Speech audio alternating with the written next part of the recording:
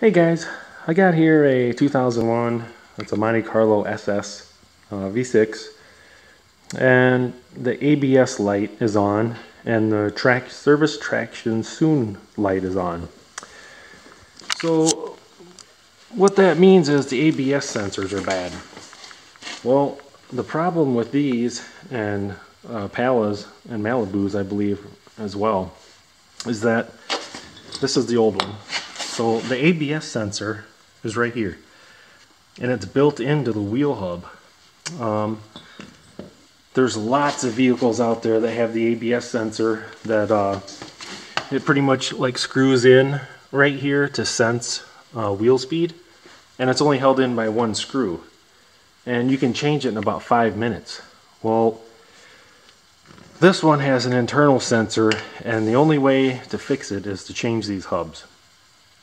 But uh, mainly what this video is about is to kind of teach everybody a lesson. Uh, about a year ago, this customer put in uh, this hub right here on both sides. They were brand new and bought off eBay. I think they were, I think she said they're like 60 bucks for the pair because the original ones were bad. So bought these off eBay, 60 bucks a pair. Um, installed them about a year ago and they're bad already. So now I'm doing it again for them. And uh, the lesson is don't go cheap on these things.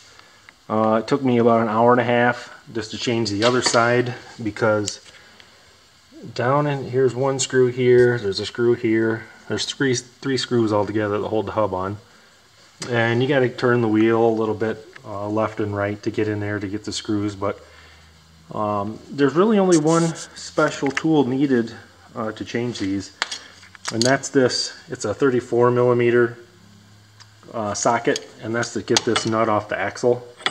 Everything else um, I'm doing with just basically, you know, uh, extension and uh, sockets. So this one's not too bad. There's other ones I've done where you gotta have special tools to get these out, but the only good thing about this, there's no special tools needed other than that axle nut. Um, and if you are buying um, these new hubs. These are the ones I got for her because I'm not going to install anything else other than than these. They were uh, $187 I think at a local parts store. Uh, but I found them on eBay. eBay has a lot of good stuff and a lot of cheap stuff. But I did find these on eBay for uh, 80 bucks a piece. So I actually got two for the price of one for what the auto parts guy wanted.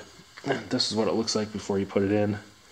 It's made so much better than them uh, cheap Taiwan, uh, Chinese, who knows where they're made, uh, hubs.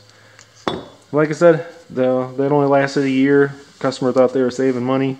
Uh, it's actually costing them twice as much because they got to do this again.